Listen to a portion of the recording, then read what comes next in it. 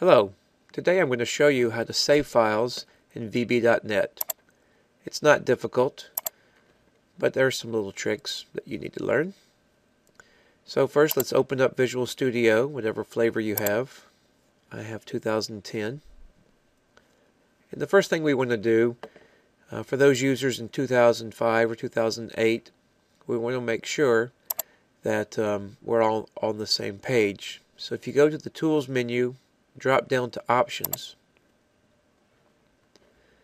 And then in the options window that opens select projects and general. There are a couple of, of things here to point out. Number one the project location can be changed here. More importantly this checkbox needs to be checked. Save new projects when created. I find this is quite helpful. So if you haven't done it check the box and press OK. Right, so now we're ready to make our new project. This project is going to be ultra simple. There won't be any code. The only thing I'll teach you how to do is add a couple of icons to your project. Close the project, open it again, and look at the solution, and also look at the executable that you can send to your friends. So either choose New Project here, or choose New Project here. Okay. Now we're going to create a Windows Forms application, which is the default setting. The location, I'm pleased with this location. If, if this is not where you want to save it, you should click on the Browse button and find it. Um, students uh, of mine should choose their uh, home directory on their uh, network drive, uh, perhaps create a Visual Basic um, folder and keep all of your applications in there. Now, notice this is just a generic tutorials folder that I'm saving my um, my applications in. And I don't have to create a folder because I've checked the box here that says create directory for the solution. So the directory name will be the same as the name of my application. And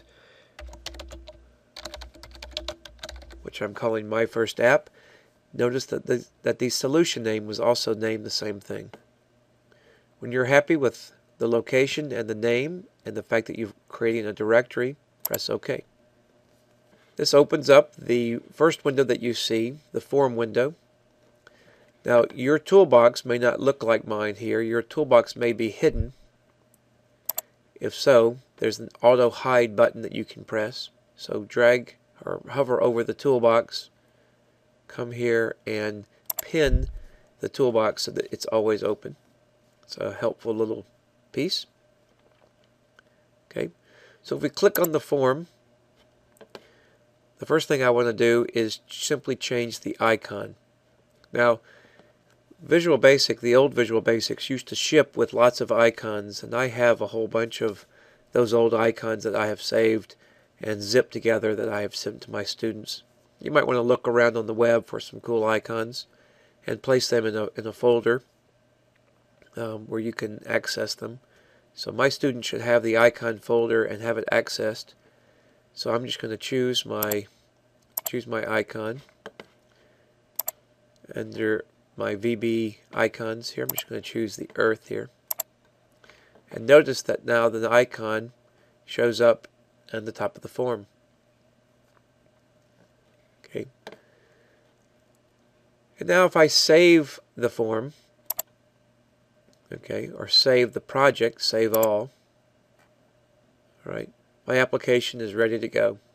So I can close the application and then open up the folder of my tutorials and notice that my first app folder was created for me. So let's log into there, click in, and you'll see two icons. One is a, the solution for that application I've just created, and the other is a folder. We'll get to the folder in just a second. So to open up the thing that you just created, simply click on the solution again, double click it. That will open up Visual Basic Express, and we're back to our code window.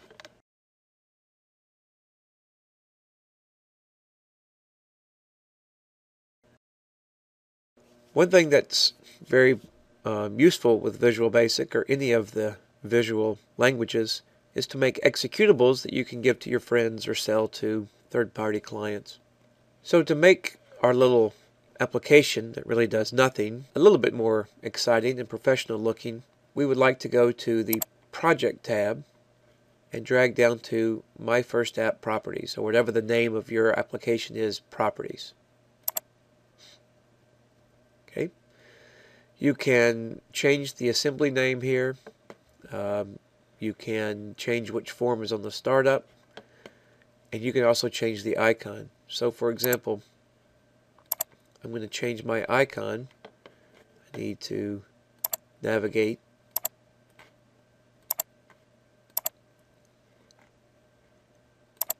toward my icons folder.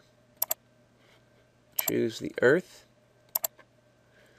Okay, so now that icon will appear whenever I send out my program, or the, that will be the icon of the executable file.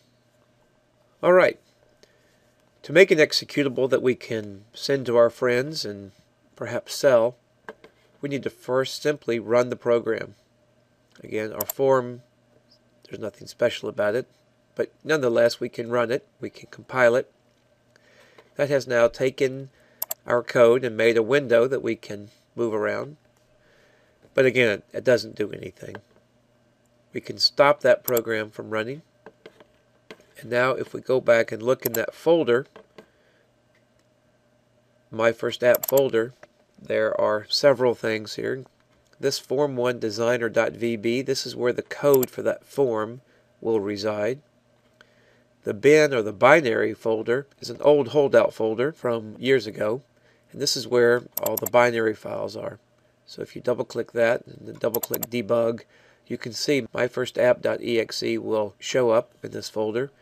And at this point, you can double click it and it runs just like an executable would run. This is the file that you can send to your friends and again, your clients.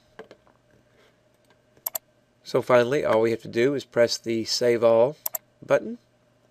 The files are already uh, saved in the right locations for us. We can close the application. And that concludes this tutorial.